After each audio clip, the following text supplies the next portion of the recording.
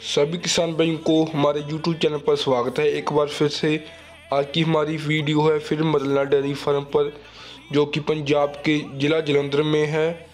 इनके पास आज 10 गायें सेल के लिए अवेलेबल है। देखिए, बहुत ही अच्छी क्वालिटी वाली बछड़ी है। अभी पाँच पाँच, दस दस रोज लेती है। प्रेगनेंट बछड़ियाँ भी है, जो आठ, सात मंथ की प्रेगनेंट है। जिस किसान भाई को ये बछड़ी चाहिए वो इनसे संपर्क कर सकता है। और जिन लोगों ने हमारा चैनल सब्सक्राइब नहीं किया है, उनसे विनती है कि हमारा चैनल सब्सक्राइब कर लें, ताकि हम आप सबको अच्छी और सबसे अच्छी ब्रीड वाली बछड़ी मिल सके। और वो भी कम दाम में। देखिए कितनी अच्छी बछड़ी है। अभी दस रोज लेती है बछड़ी बयाने में।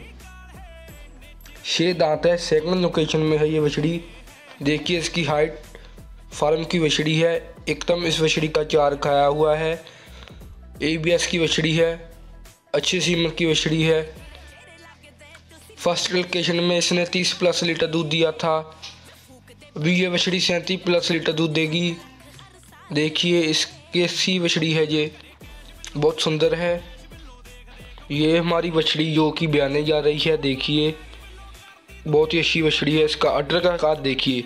इससे आप दूध का अंदाज़ा लगा सकते हैं कि ये चालीस प्लस लीटर दूध के ऊपर दूध देगी। इसका आर्डर देखिए बछड़ी का, कितना ही अच्छा आर्डर है। ऐसा आर्डर किसी किसी बछड़ी को मिलता है जिन किसान भाई को डेयरी के लिए दूध वाली बछड़ी चाहिए, ज़्यादा दूध वाली वो ये बछड़ी खरीद सकता है। इसका आंचल देखिए, कितना ही अच्छा आंचल लगा हुआ है, बड़े आंचल की बछड़ी है। अभी बयाने जा रही है। देखिए, अभी ये बछड़ी ब्याने जा रही है। बहुत ही अच्छी बछड़ी है।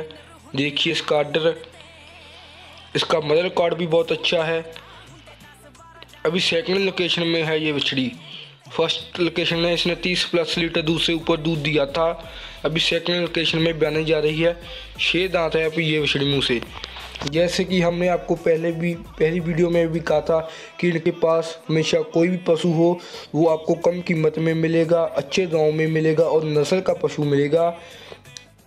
जो आप सभी बछड़ी देख रहे हैं, ये बछड़ी किसी कभी कभी मिलती है। ऐसी बछड़ी हर रोज़ सेल के लिए अवेलेबल नहीं होती। एक लोकेशन हम डिस्क्रिप्शन में डाल देंगे। आप सभी देख सकते हैं कि ये बछड़ी कितनी ही फिट है। इसके नीचे कितना बड़ा बावला है। इतना बड़ा बावला होने के बावजूद भी ये बछड़ी कैसे इतनी अच्छी तरह से तुर रही है? जिस किसान भाई को अपने डेयरी फार्म पाना हो, उसको ऐसी बछड़ी रखनी चाहिए ताकि उस भाई का डेयरी फार्म अच्छी तरह से चल सके और अच्छा दूध निकाला जा सके उसके फार्म में से। धन्यवाद सभी भाई को हमारी वीडियो देखने के लिए।